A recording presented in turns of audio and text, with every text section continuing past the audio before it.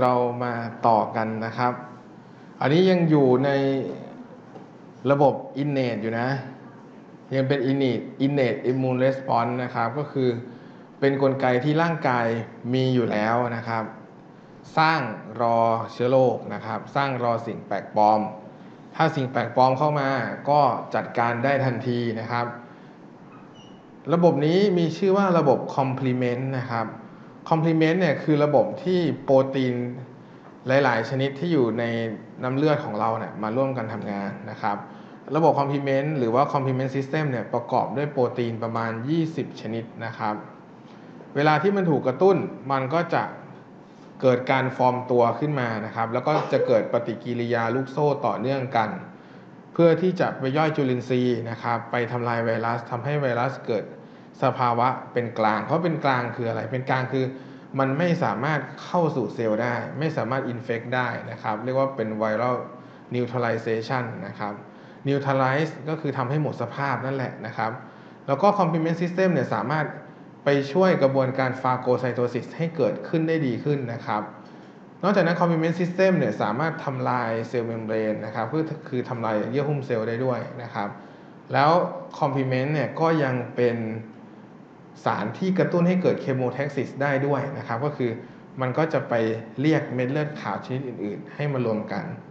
ทีนี้อาจารย์บอกว่ามันจะเกิดขึ้นเมื่อถูกกระตุ้นแล้วมันกระตุ้นได้ยังไงบ้างนะครับ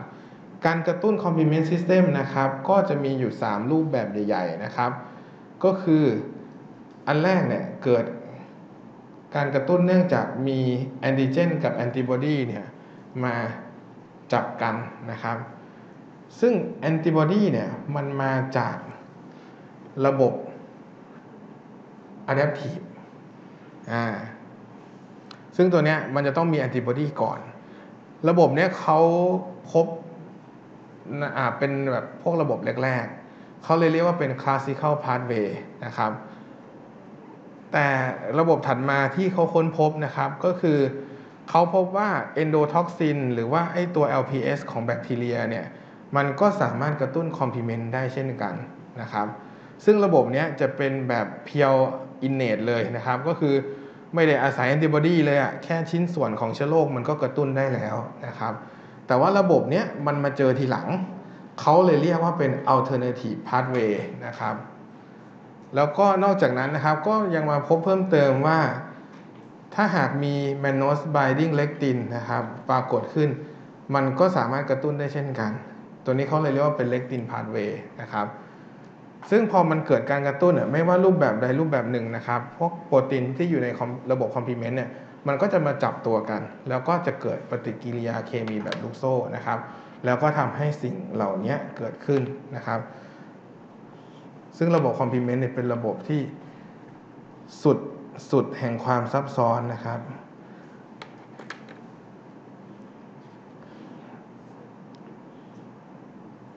ำไมไม่ไป ไปทำแม่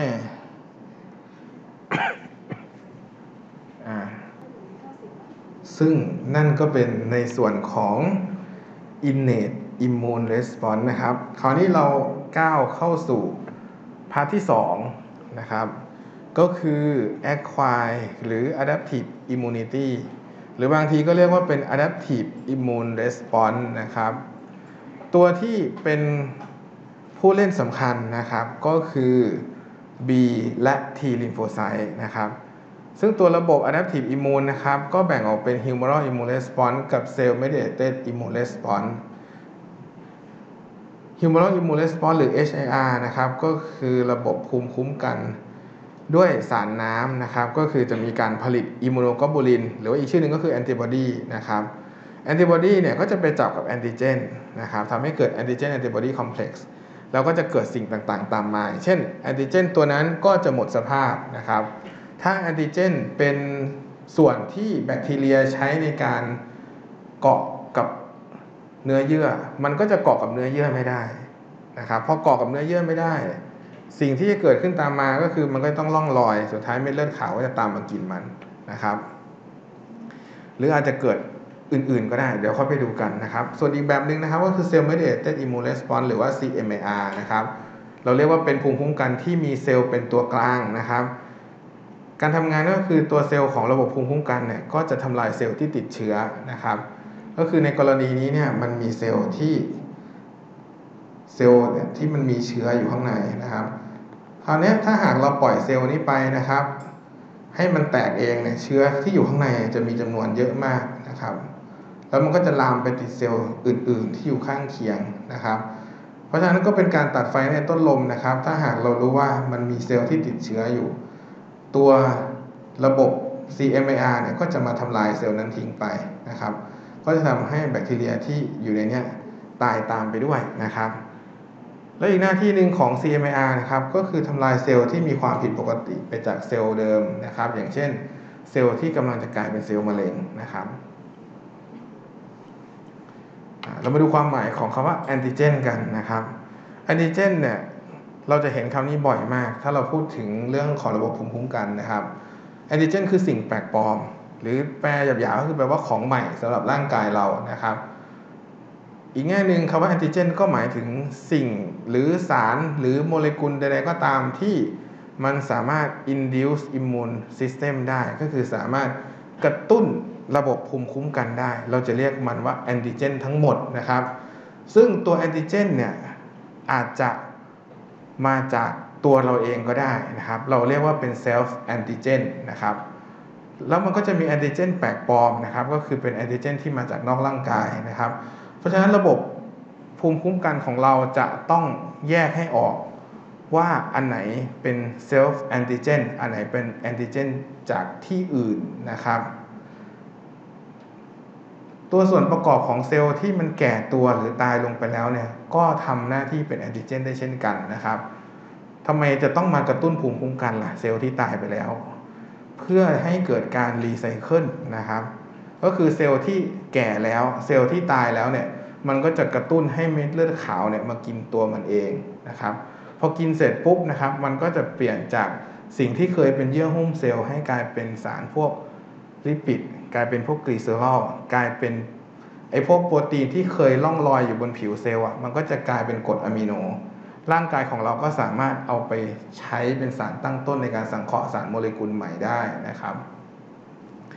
นอกจากนั้นก็จะมีพวก tumor antigen นะครับก็คือแอนติเจนที่พบในเนื้องอกนะครับ แล้วก็จะมี foreign antigen ก็คือแอนติเจนจากภายนอกร่างกาย ก็อย่างเช่น พวกชิ้นส่วนของเชื้อโรคนะครับ ผนังเซลล์แบคทีเรีย flagella cilia ภูมิคุ้มกันสารพันธุกรรมจากไวรัสอะไรพวกนี้ถือว่าเป็น foreign antigen ทั้งหมดนะครับถ้าเราเปรียบเทียบนะครับระหว่าง HIR กับ CMIR นะครับ HIR เนี่ยจะมีเวลาในการทำงานเนี่ยประมาณการดีเลย์เนี่ยประมาณ 4-5 วันนะครับในคนที่มีร่างกายปกติ แต่ถ้าร่างกายอ่อนแอกว่านั้นก็อาจจะยาวนานนะครับ 7 วัน อาจจะนานถึง 7 วัน 10 วันก็ได้นะครับ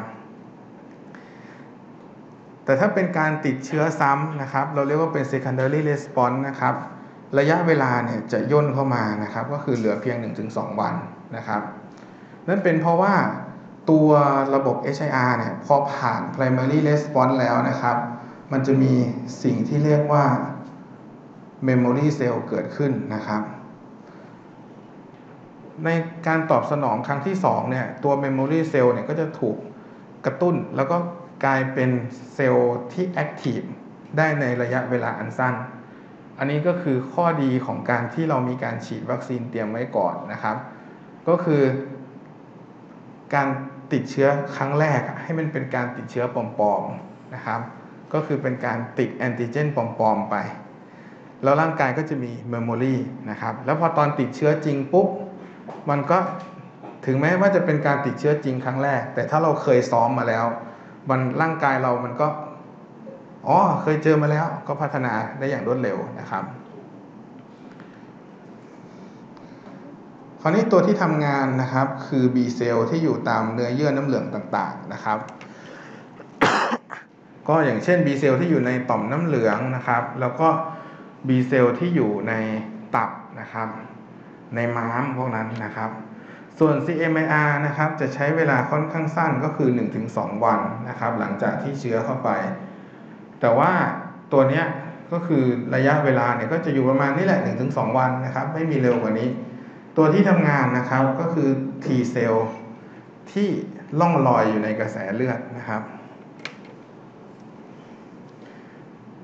คราวนี้ลิมโฟไซต์มาจากไหนนะครับลิมโฟไซต์มาจากไหน ทั้ง T เซลล์และ B เซลล์นะครับ มาจากเซลล์ต้นกำเนิดเดียวกันนะครับ ก็คือ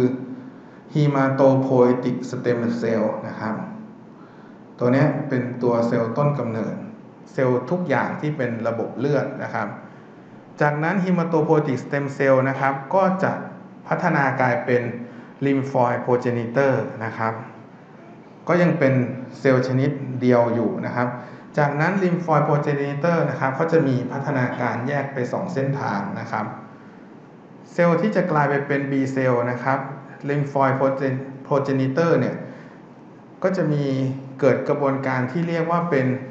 IGH gene rearrangement นะครับ ก็คือจะมีการเรียงสลับยีนไปมานะครับ เพื่อที่จะให้ได้ความหลากหลายของตัวเซลล์ที่เกิดมานะครับ ทีนี้เซลล์ที่เกิดที่ผ่านการ rearrangement แล้วนะครับ ก็จะผ่านกระบวนการ checkpoint นะครับ checkpoint ครั้งที่1นะครับเรียกว่าเกิดการเนี่ยเกิดการเช็คพอยต์ของ PBCR นะครับเขาก็จะมีสัญญาณมากระตุ้นนะครับคราวนี้ตัวที่มันไม่ผ่านนะครับ มันก็จะเกิดการ apoptosis นะครับ ก็คือมันก็จะตายไปในที่สุดนะครับพอผ่าน checkpoint ครั้งที่1นะครับ มันก็จะมีการ rearrangement ของยีนอีกครั้งหนึ่งนะครับ ก็จะเกิดความหลากหลายขึ้นอีกรอบที่2นะครับ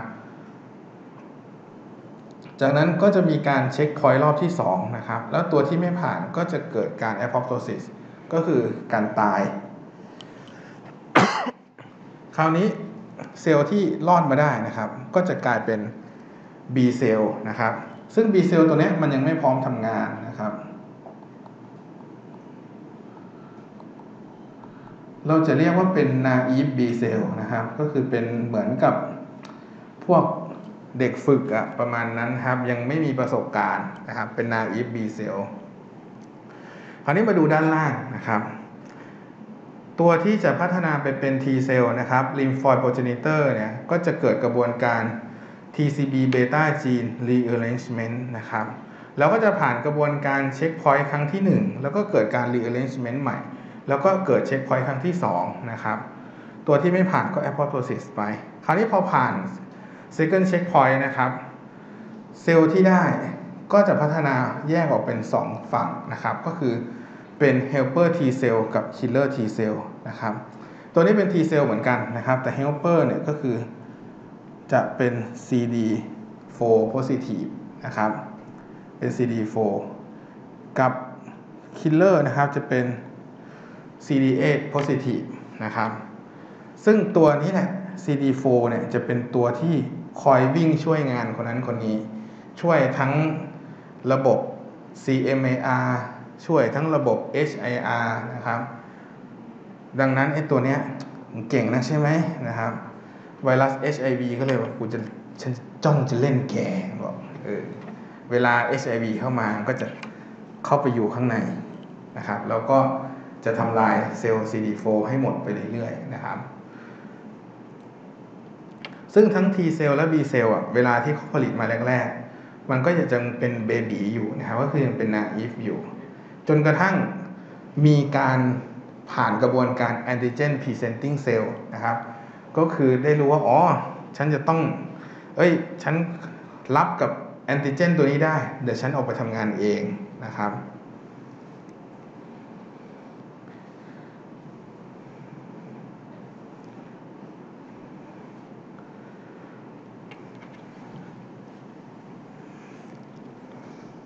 ทีนี้ในการทำงานนะครับตัว B เซลล์นะครับ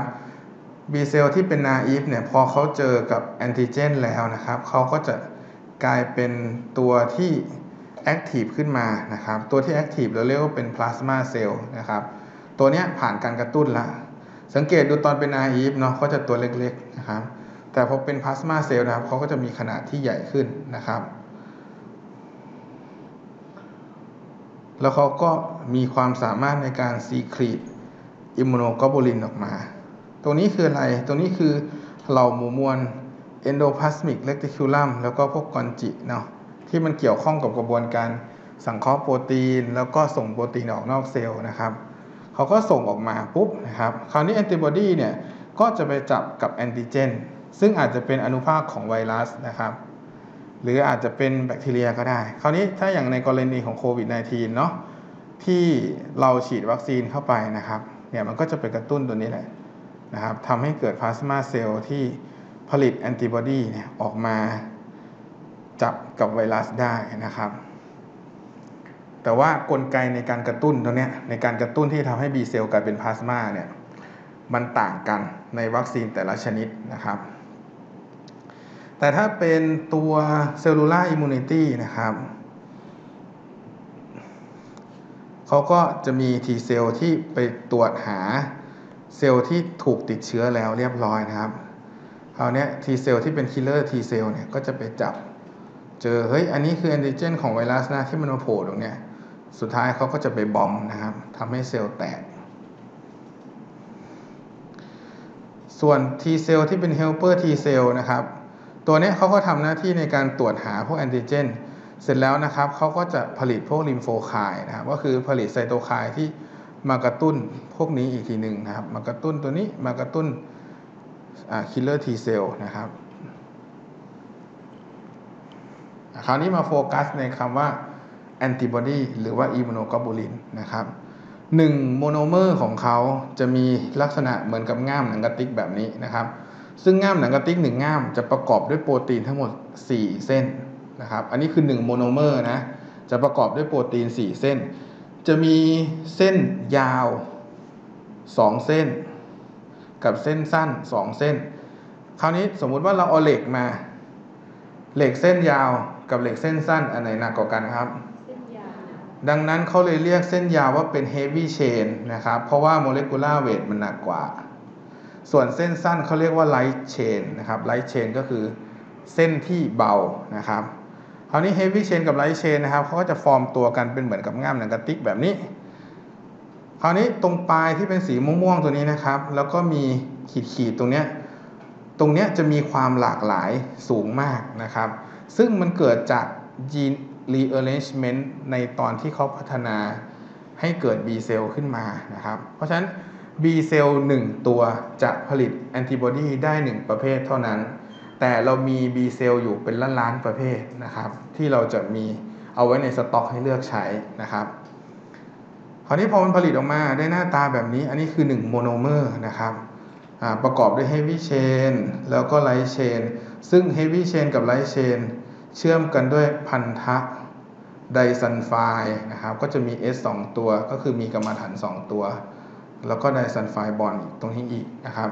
ตรงนี้เป็นบริเวณที่มีความหลากหลายมาก มันก็เลยเป็นบริเวณที่เอาไว้จับกับแอนติเจนนะครับเขาก็เรียกว่าเป็นแอนติเจนไบดิ้งไซต์นะครับบริเวณเนี้ยสีม่วงตรงนี้นะครับ ส่วนสีเทาๆเข้มๆตรงนี้นะครับ มันเป็นส่วนที่มีหน้าตาเหมือนเหมือนกันนะครับ เหมือนเหมือนกัน เพราะฉะนั้นตรงนี้เราเรียกว่าเป็น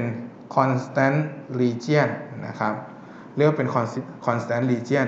คราวนี้ในบริเวณที่เป็นก้านตรงนี้ตรงก้านๆเหมือนง่ามก้านหนังกระติกอะเราเรียกว่าเป็น F4 region นะครับเรียกว่าเป็น F4 region ซึ่งเม็ดเลือดขาวส่วนมากในร่างกายเรานะครับ มันจะตรวจหาบริเวณนี้ ด้วยสิ่งที่เรียกว่า FC receptor นะครับ เขาก็จะมี FC receptor ซึ่ง FC receptor เนี่ยประยุกต์ใช้ได้หลายอย่างมากครับ ไม่ว่าจะเป็นการช่วยให้อีโอซิโนฟิลมองเห็นพยาธิทำให้ macrophage มองเห็นแบคทีเรียที่มีแคปซูลหุ้มนะครับ แบคทีเรียที่มีแคปซูลมันจะหลบจาก macrophage ได้ แต่ว่าถ้าหากมันมีแอนติบอดีไปจับบนแคปซูล แล้วค่อยเอาตัว macrophage ไปจับกับ FC region อีกรอบหนึ่งอะมันก็จะเกิด phagocytosis ได้นะครับ คราวนี้แอนติบอดีไม่ได้มีแบบเดียว เมื่อกี้นี้คือโครงสร้างพื้นฐานของ1โมโนเมอร์นะครับ คราวนี้เขามีหลายคลาสนะครับเขามีหลายคลาส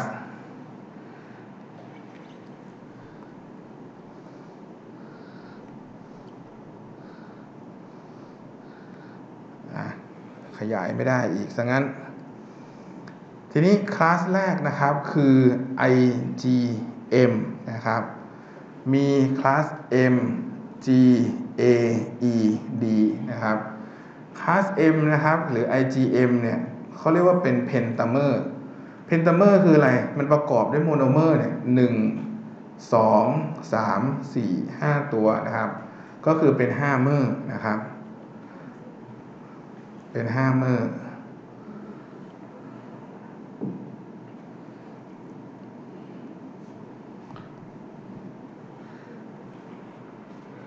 ตัว heavy chain ของเขานะครับ เป็นชนิดมิวนะครับมิวก็เลยย่อว่าเป็น M นะครับ พอมี5 mer เขาก็มี binding site อยู่ 10 site นะครับ เพราะอะไรก็ 1 mer มันมี2 site ถูกไหมมันมี2 site นะครับ มันมีตัว FAB region อยู่2ข้างนะครับ เนื่องจากว่ามันมี5 mer ดังนั้นน้ำหนักมันเลยเยอะนะครับ มีน้ำหนัก 9 0 0 0 0 0ดาลตันนะครับ ประชากรนะครับเขาคิดเป็น 6%ของอิมมูโนโกลบูลินทั้งหมดนะครับ แต่เนื่องจากมันมีขนาดใหญ่มาก มันเลยไม่สามารถผ่านลกและสายสะดือได้นะครับ แต่ IgM นะครับสามารถกระตุ้นระบบคอมพลีเมนต์ได้นะครับ FC region ไม่สามารถจับกับอะไรได้เลย เพราะอะไร เพราะมันจับกันเองหมดแล้วนะครับ FC region ไม่ว่างแล้วนะครับเลยจับกับอะไรไม่ได้ หน้าที่ของ IgM นะครับเขาบอกว่า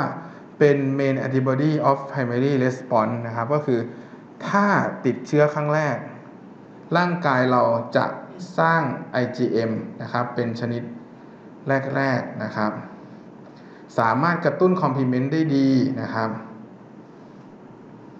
แล้วก็โมโนเมอร์ของ IgM นะครับ ก็คือถ้าถอดมา1 mer ถอดมา1 mer ตัวนี้นะครับ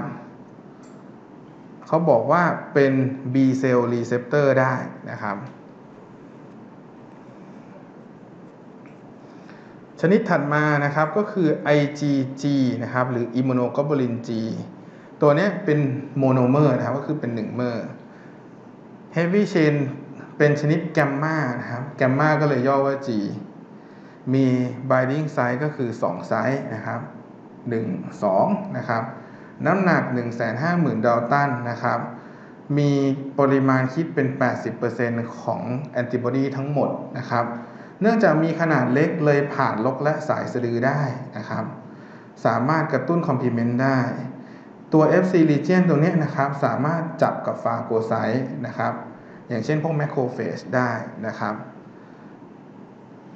หน้าที่นะครับก็คือเป็นตัวหลักใน secondary response นะครับ เพราะฉะนั้นถ้าหากเราฉีดวัคซีนมาแล้วแล้วเราติดเชื้อนะครับ ร่างกายของเราจะเจออิมมูโนโกลบูลิน G จำนวนมากนะครับ นอกจากนั้น IgG นะครับยังมีความสามารถในการทำลายท็อกซินของเชื้อโรคได้ด้วยนะครับ แล้วก็ช่วยในกระบวนการ opsonization นะครับ opsonization ก็คือ กระบวนการช่วยให้เม็ดเลือดขาวกินเก่งมากกว่าเดิมนะครับ ตัวถัดมาคือ secretory IgA นะครับ เป็นชนิด2 mer นะครับ เป็นชนิด dimer มีการจับกันของ FC region แล้วเรียบร้อยนะครับ heavy chain เป็นชนิดอัลฟานะครับ ก็เลยย่อว่าเป็น A มีทั้งหมด 4 binding site นะครับ ขนาดน้ำหนักของเขา 385,000 ดาลตันนะครับ คิดเป็นปริมาณ 13%ของ population ทั้งหมดนะครับ แต่เนื่องจากว่าเขาจับกันเป็น 2 เมอร์เขาเลยไม่สามารถผ่านลกและสายสะดือได้นะครับ ไม่สามารถกระตุ้นคอมพลีเมนต์ได้ FC region ไม่ว่างจับกับใครไม่ได้แล้วนะครับ แต่ข้อดีของเขาก็คือ IgA เนี่ยจะเป็นแอนติเจนไอ้โทษทีเป็นแอนติบอดีเนี่ยที่เจอบริเวณเนื้อเยื่อเมือกนะครับ อย่างเช่น เยื่อบุตานะครับ เจอในน้ำตา เจอในน้ำลายนะครับ แล้วก็เป็นชนิดที่พบในนมน้ำเหลืองนะครับ เพราะฉะนั้นเนี่ยตัวนี้สามารถจากแม่สู่ลูกได้ผ่านน้ำนมนะครับ จากแม่สู่ลูกได้ผ่านน้ำนม ตอนนี้จากแม่สู่ลูกได้มีกี่ตัวละ มี 2 ตัวแล้วเนาะ มี IgG นะครับผ่านทางลกและสายสะดือถูกไหม แล้วก็จะมี IgA นะครับผ่านทางนมน้ำเหลือง ตัวถัดมานะครับคือ IgE เป็นโมโนเมอร์เหมือนกัน E เนี่ยมาจากคาว่าเอ p ซ l o n นะครับเขามี binding site อยู่ 2 site นะครับ แต่ว่าขนาดค่อนข้างใหญ่นะครับ เพราะว่าหางเขายาวนะครับหางยาวหางยาวที่สุดเลยตัวนี้นะครับ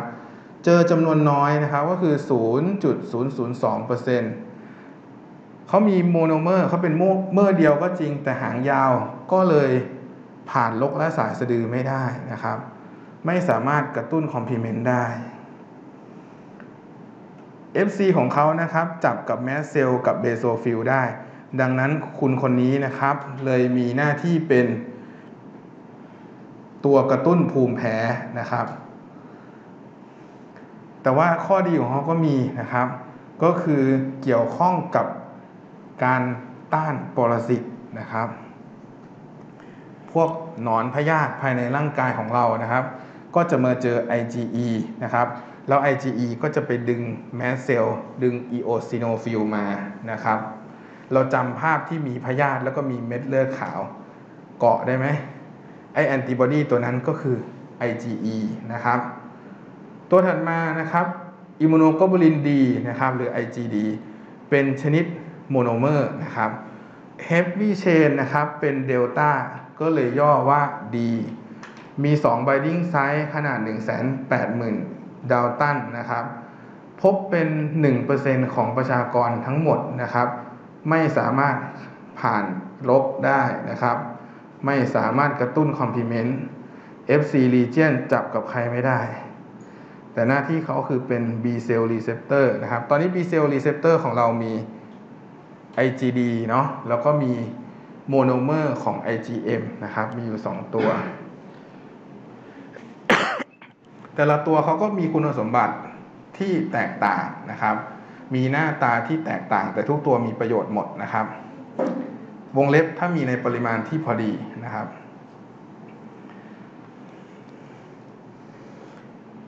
มันอาจจะดูเหมือนกับเอ๊ะระบบ 2 อันเนี่ยมันทำงานแยกกันเลยหรือเปล่าแต่จริงๆ ไม่ใช่นะครับ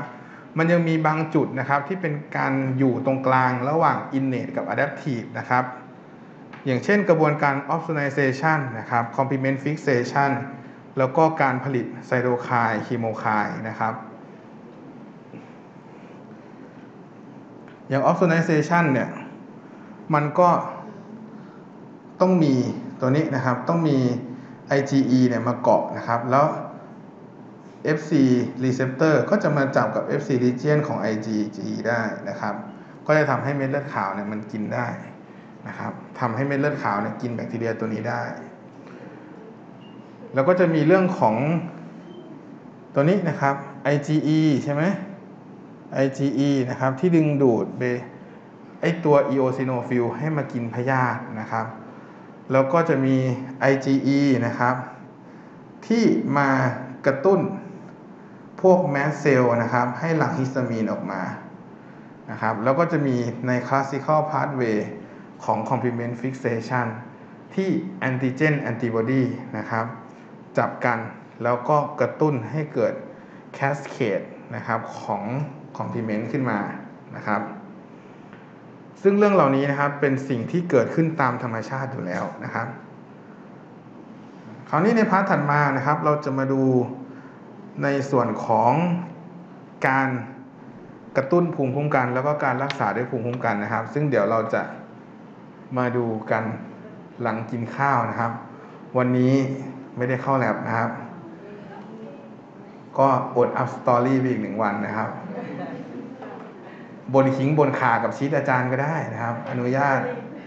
ต้องชิงอนุญาตไว้ก่อนนะครับ เพราะไม่อนุญาตแล้วก็บนขิงบนขาบนตะไคร้อยู่แล้ว เอ้ยแต่ยังดีนะ บทนี้ไม่มีภาพอุจจารให้ดูเท่าไหร่เนาะหรือว่าพวกเราชอบอสุภกรรมฐานอะไรอย่างนี้หรือเปล่า